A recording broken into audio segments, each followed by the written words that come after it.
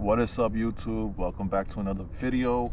And in this video we're going to be discussing how much insurance do i pay for my 2019 shelby gt350 now for those who don't know for those who are just tuning in now i am in new york you know i am in a very populated area. So the insurance is high. I have full insurance on it.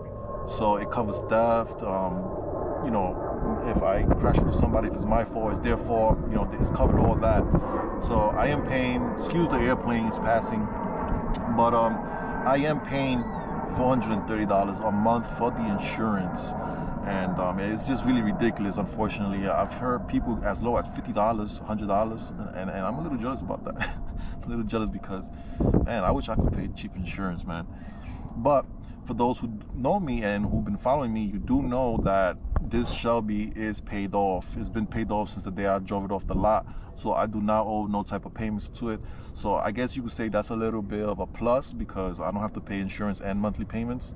So, you know, I mean, I guess there's a good side to it, but still the insurance is way too high.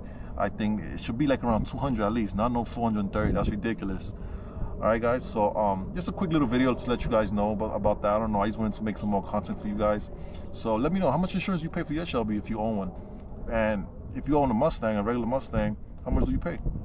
I wonder who, who's paying more than me and who's paying less than me all right? Smash that subscribe button drop a like let me know in the comment section and i'll see you on the next one. Peace